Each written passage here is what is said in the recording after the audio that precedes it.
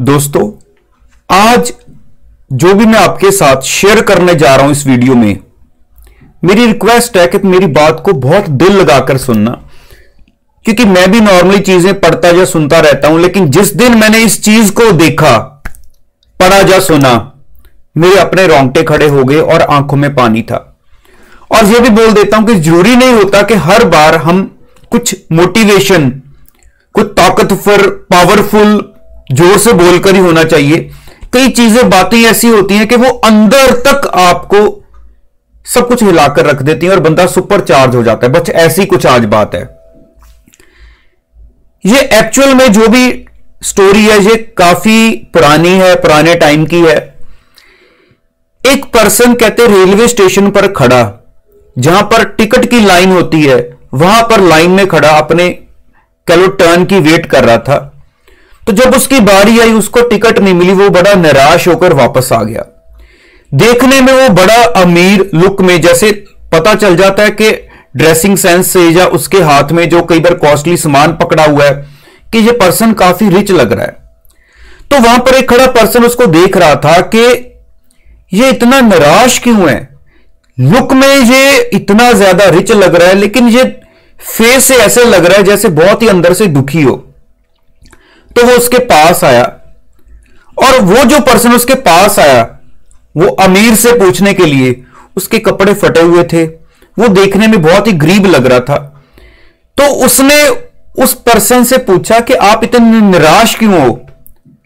वो कहता कि मुझे ना अंदर से बड़ी शर्म आ रही है ये बताते हुए भी कि मेरे पास पैसे तो बहुत है लेकिन मैंने विदाउट प्लानिंग बहुत सारा सामान शॉपिंग कर ली है। और जब मैं टिकट लेने के लिए लाइन में लगा तो मेरे पास ये पुरानी बात है क्योंकि तो मेरे पास पाँच रुपए शॉर्ट है। पाँच रुपए की कमी है, जिस वजह से मुझे टिकट नहीं मिली। तो वो जो एक गरीब पर्सन था, वो कहता लो, ये कौन सी बड़ी बात है?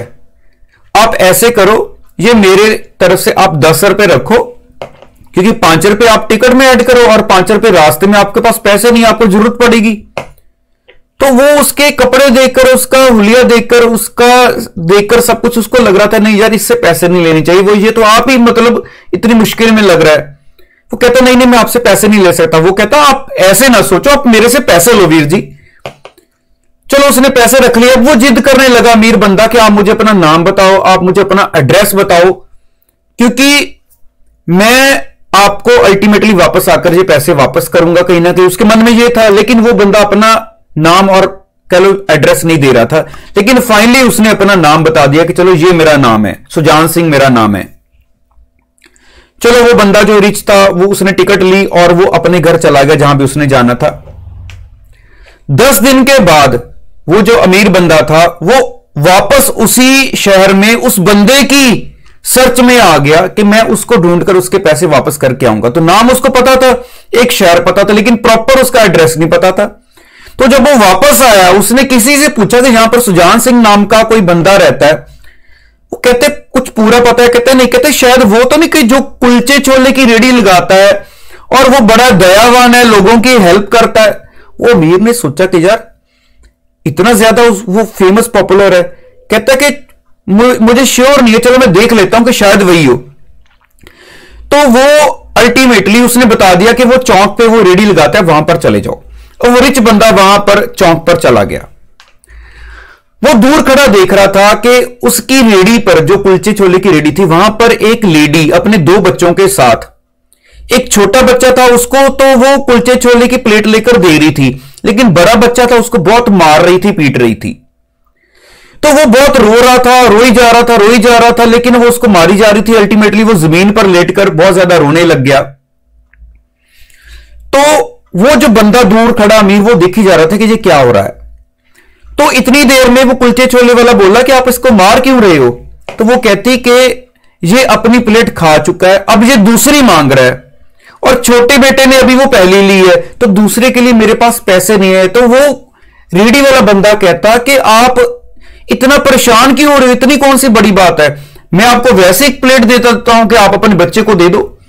तो जो अमीर खड़ा था उसके दिल के अंदर कुछ हो रहा था कि यार ये हो क्या रहा है?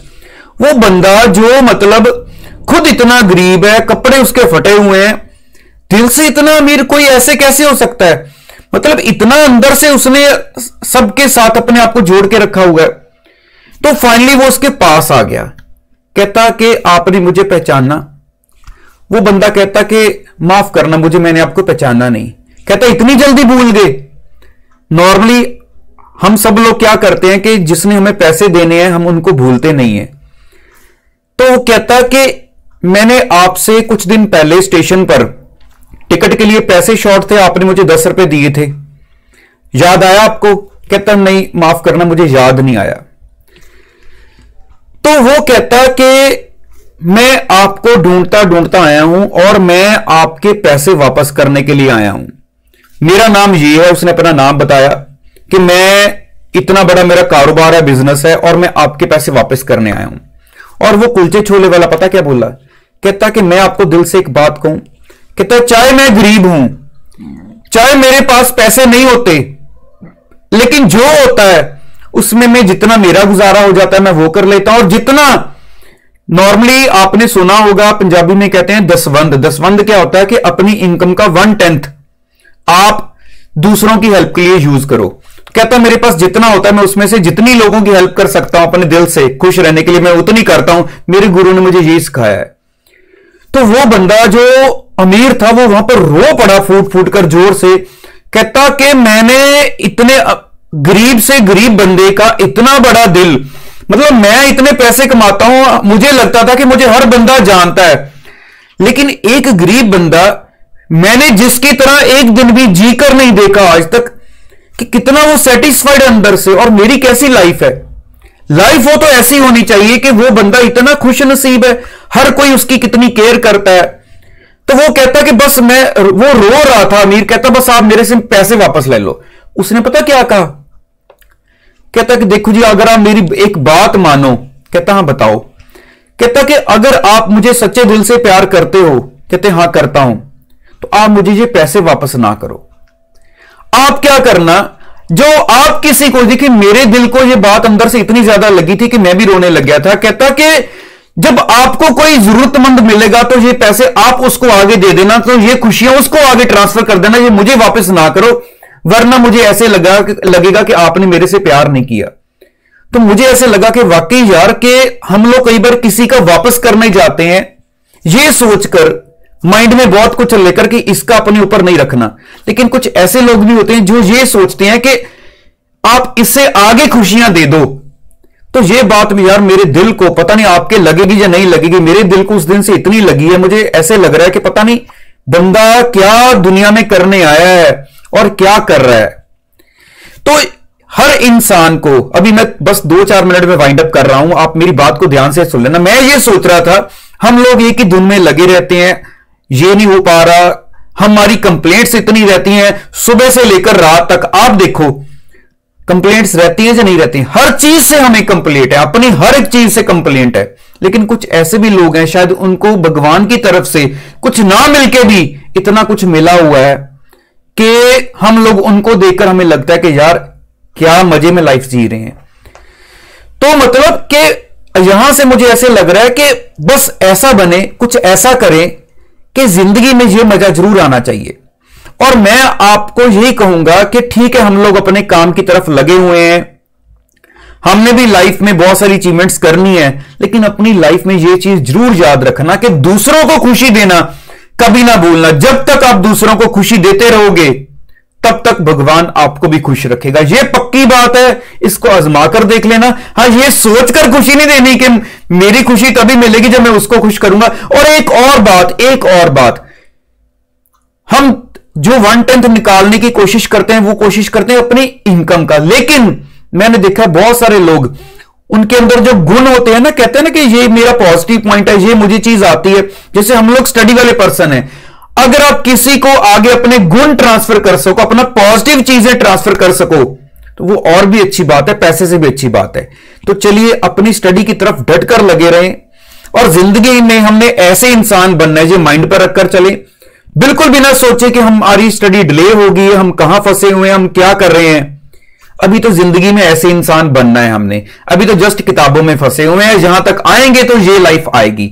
तो मेरी तरफ़ से आप सभी को ऑल द बेस्ट वीडियो कैसे लगी ये ज़रूर मुझे बताना कमेंट बॉक्स में लिखकर। मैं आपके कमेंट्स की वेट करूँगा। तो ऑल द बेस्ट सभी बच्चों को जो कल एग्ज़ाम देने जा रहे हैं और जिन्होंने कल का दिन अपनी स्टडी की तरफ़ डिवोट करना है, उन सभी बच्चों को भी all the best thank you so much